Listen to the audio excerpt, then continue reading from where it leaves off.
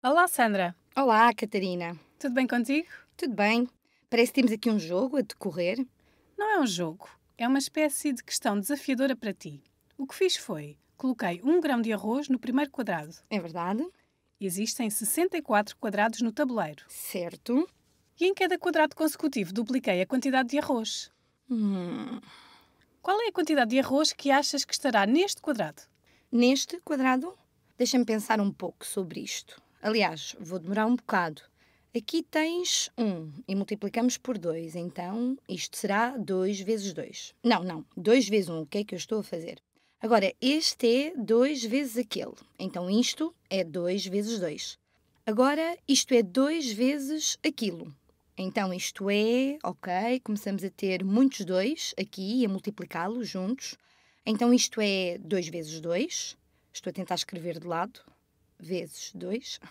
Este será 5, 2 multiplicados. Isto será 6, 2 multiplicados. Isto será 7, 2 multiplicados. 8, 2 multiplicados. 9, 2. 10, 11, 12, 13. Então, tudo isto multiplicado. 8.192 grãos de arroz é o que devemos ver aqui. Sabes, ontem à noite diverti-me e estive acordada até tarde. Mas aqui tens. Tu realmente contaste os 8.192 grãos de arroz? Mais ou menos. Ok, vamos assumir que sim.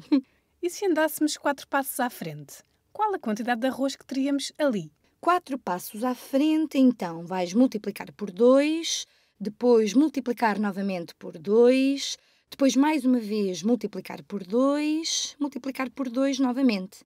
Então é este número vezes, vamos ver, 2 vezes 2 é 4, vezes 2 é 8, vezes 2 é 16. Então vamos obter cerca de 120 mil, cerca de 130 mil ao próximo disso. 131.072. Tiveste muito tempo ontem à noite. Ainda não estamos sequer próximo do meio do tabuleiro. Pois não. Isto é muito, isto é muito arroz. Podíamos fazer uma festa. E que tal este último quadrado? Isto são 63 passos.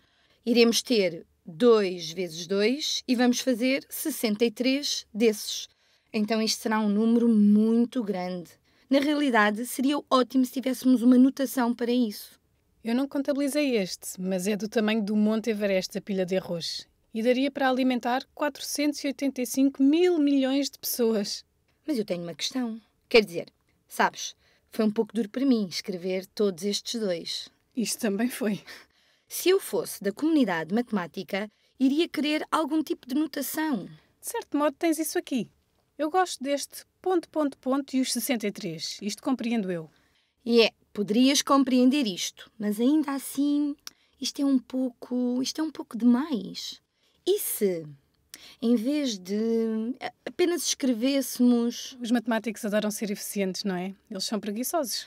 Sim, eles têm coisas para fazer. Eles têm que ir para casa, contar grãos de arroz. claro. Sim, então isto é, pega em 63, 2 e multiplica-os todos juntos. Este é o primeiro quadrado no nosso tabuleiro. Temos um grão de arroz. E quando duplicamos, ficamos com dois grãos de arroz. Sim. E quando duplicamos novamente, ficamos com quatro. Estou a pensar que isto é semelhante ao que estivemos a fazer, apenas está representado de forma diferente.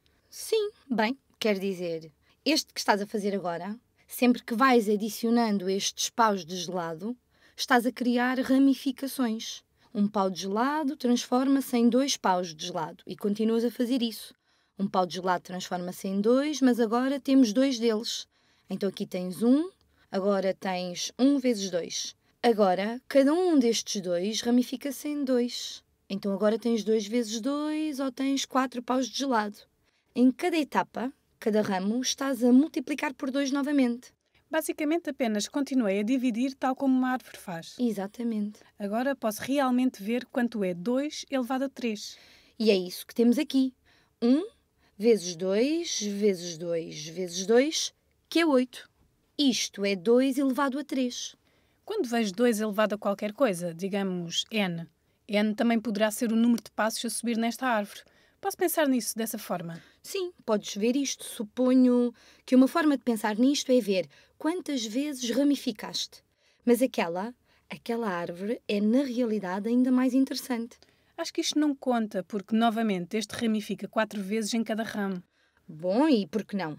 É diferente, não será novamente dois. Então, o primeiro onde ainda não ramificaste será 4 elevado a zero. Ainda não tens ramos.